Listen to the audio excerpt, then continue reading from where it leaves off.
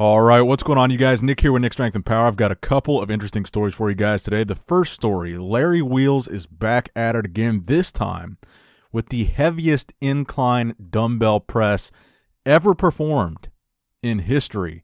Um, so his first attempt, 500 pounds, so 250 pounds each is what these dumbbell weighed, dumbbells weighed, and he got that for two reps. Now the second attempt were 275 pound dumbbells each, 550 pounds of total weight. He got that for one rep, but he got that one assisted. The spotter helped him towards the end of the lift there to help him lock it out. But still, the 250s and the 270s are both the heaviest ever recorded incline dumbbell press. What do you guys think about Larry Wheels' latest PR? And I guess you could call it an unofficial world record in terms of the incline dumbbell press. So shout out to Larry for not letting us down and always having a interesting PR for us to talk about. And I actually thought his form here was pretty clean and pretty smooth um, on the 250s at least, comparatively to the last time where he did the uh, 220s. So big ups to Larry Wheels. Now next up in the news, Big Ramy. Big Ramy posted some stories on Instagram today.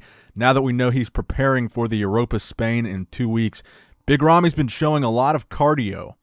He posted this video of him doing cardio where he's dripping sweat. You can see his face is super sucked in, super dry, super death face going on there. Big Ramy is certainly putting in the work, heavy cardio in his preparation for the Europa Spain. And that is going to be what Ramy needs to do because, as you guys know, we all want to see Ramy come in with crazy condition. It's the same old tune that we've sang for the past five years now. We want to see a conditioned Big Ramy, and the question remains will we ever see it? We've seen him in decent shape, but will we see him in fantastic shape at the Europa Spain?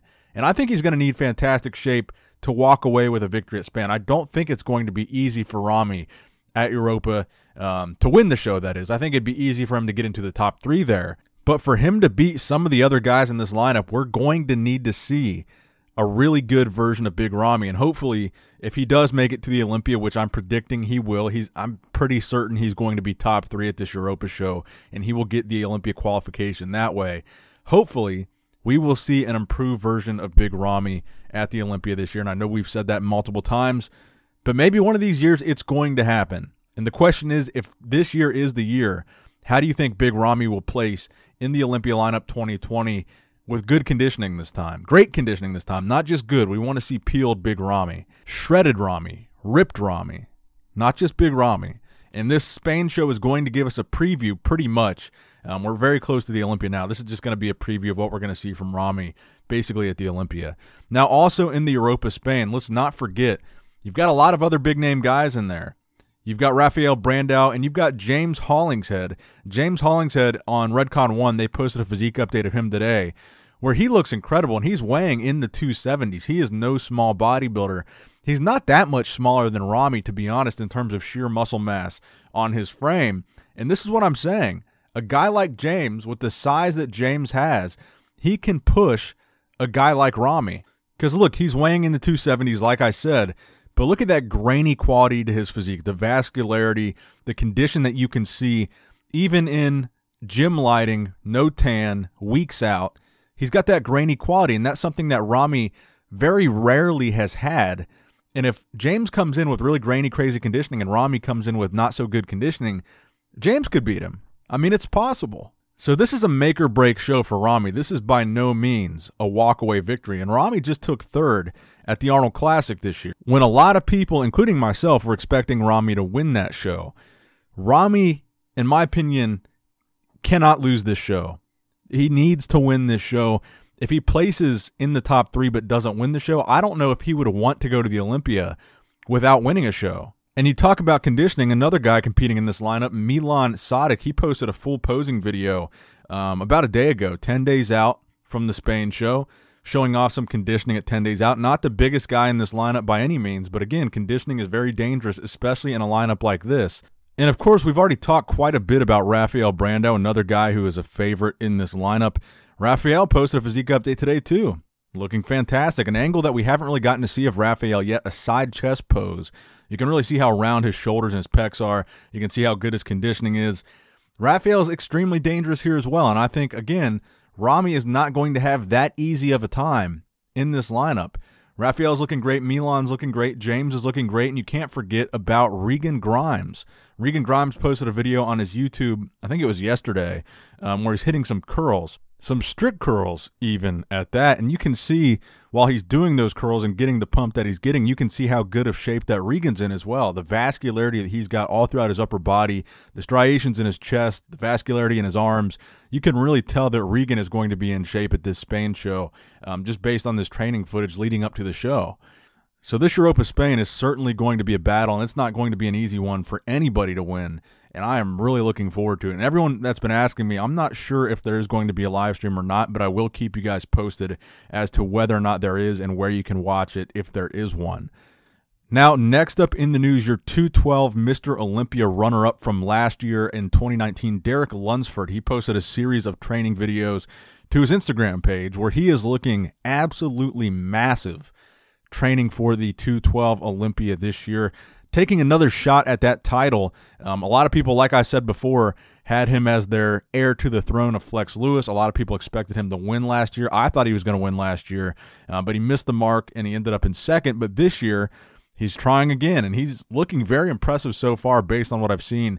His arms just look huge. I mean, he's got a crazy upper body. He's got a crazy back. One of the criticisms that has been um, his main criticism so far is the lower body kind of needs to catch up with the upper body. But as far as his back goes, he's got one of the best backs um, in 212, period. His arms look insane here, and I think he's going to uh, hopefully be a serious threat for the title this year if he brings the conditioning to the level that he needs to bring um, to defeat your defending champion, Kamal Elgargni, this year. Now, next up in the news, Hadi Choopan posted another training update on his road to the Olympia this year, training legs hard and heavy. As you can see, his preparation for the Olympia has not slowed down at all with the caption, A dream does not become reality through magic. It takes sweat, determination, and hard work. Now, I guess this is his friend Parsifar Mahdi who posted um, a lot of these updates of Hadi lately. I guess he films for him or whatever, and he posted this picture, um, which is crazy impressive. I don't know if it's recent or not, but he has a good point. He says the highest level of cut at the highest professional level in the world. Mr. Olympia belongs to an Iranian. If you if you are proud, write a sentence for him, showing off the insane separation in detail that Hadi has or had in preparation for last year's Mr. Olympia. And he's got a good point. I think Hadi was one of the most conditioned guys there, and I'm assuming that's what he means when he says the highest level of cut. And if Hadi brings conditioning like this or better to this year's Mr. Olympia stage, I think Hadi has to be considered as a threat to the top three again, even with the new names that are added this year. Obviously, he was top three last year, but now you've got Phil, you've got Flex, um, you've got more names in that mix that are possible top three guys. But I think Hadi is more dangerous than people honestly give him credit for. And I think there's a real possibility that he could be challenging the top spot. As a matter of fact, give this video a thumbs up if you agree with that statement because I think Hadi is extremely underrated and I think he's going to surprise a lot of people this year with where he places and some of the names that he beats this year. I think people are going to be really surprised, assuming that he does make it to the Olympia. It was kind of controversial last year if he would get to the United States, but he made it happen. So I'm assuming they're going to make it happen this year um, by whatever means necessary. Now, next up in the news, WWE superstar Braun Strowman, aka Adam Scherr. We know he's prepping for a men's physique competition in the NPC. He posted a full physique update today, working on his posing, assumedly for men's physique. He says this video was recorded first thing in the morning with his body weight sitting at 349 pounds, and he wants to compete in men's physique, weighing over 340 on stage. So that's something I'm certainly looking forward to seeing. Let me know what you guys think in the comment section below about how the beef shed, as he says in the uh, location there, is going to place or do or look in a men's physique competition, or do you think overall it's just going to be um, a funny thing to watch? Now, the final story I wanted to talk about today IFBB Elite Pro Michael Krizo posted some insane physique updates today, um, which kind of further fuel my desire to see him compete in the IFBB Pro League. So he's not a member of the IFBB Pro League, he's a member of the other IFBB. And he posted these physique updates today where he looks to be in incredible shape. He's got great structure. He's got huge arms. He's got a small waist. Um, and I think he would be a tremendous asset to the IFBB if he were ever able to compete over here. Um, but I don't know that he ever will. I think he would be seriously competitive in the Olympia, in the Arnold, just in the IFBB in general. I would really like to see him come over here, um, but I don't think that we will. But this series of physique updates from Michael was extremely impressive, and I wanted to share those with you. So give your thoughts in the comment section down below. So that's going to wrap it up for the video today, guys. I hope you did, in fact, enjoy it. If you did enjoy it, please give it a thumbs up. Subscribe to this channel if you have not subscribed already. We're on the road to a million subscribers. As always, I love you guys. I appreciate you guys. Nick Strength and Power, signing out.